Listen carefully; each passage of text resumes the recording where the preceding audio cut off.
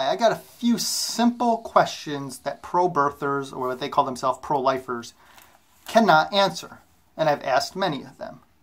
Why do you not support free birth control? Why not? Is it your religious, your religious zealots? Probably. Um, free birth control has been shown to reduce termination rates 40% in the state of Colorado, and it saved taxpayers millions of dollars in future welfare costs. So, why don't you support free birth control? Simple.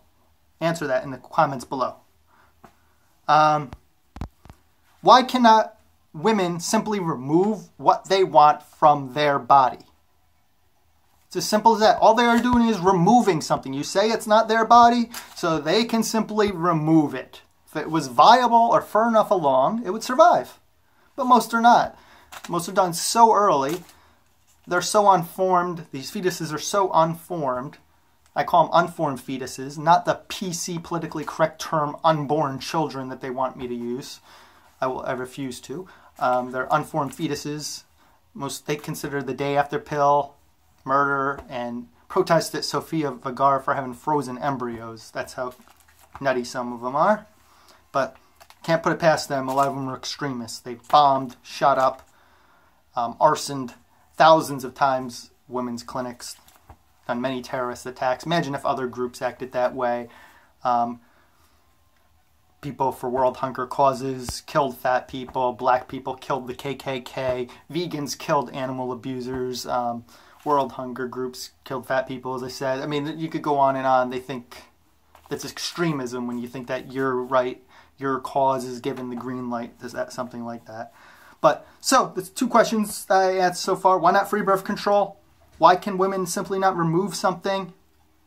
And about human overpopulation, which I know there are common excuses for, despite deforestation, lack of resources, pollution of our water, um, endangered species, uh, a lot of things that are uns unsustainable, as we learned from China's population problems, factory farmings, overfishing, fish farms now because of the overfishing and trawler nets. So um, it's not sustainable overpopulation is a real concern.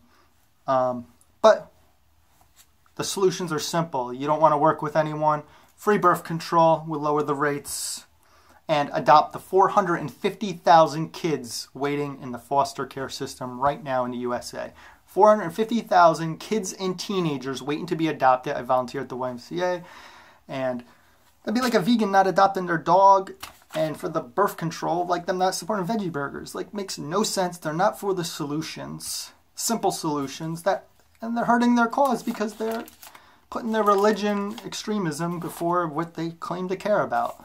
So answer that. Why can why don't you support free birth control? Why can women not remove what they want from their body? And why are you not helping and adopting these near half million kids and teenagers? And they are very easy to get, so stop with the lame excuses. You haven't tried or even researched it enough. And we should make them live their values, make them pay for all the welfare, future welfare, and um, socialist public schools when we can go without health care, and live their values.